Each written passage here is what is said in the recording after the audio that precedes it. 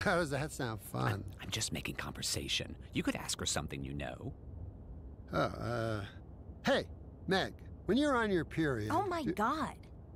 You don't even know what I'm gonna ask. Meg, when you're on your period, do you still like to get. I did know what you were gonna ask.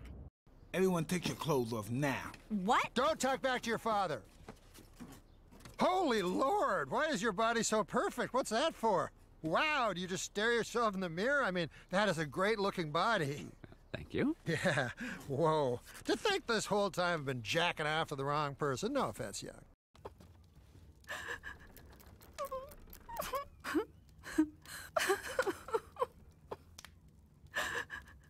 ah, what? Starting to notice the girls, huh?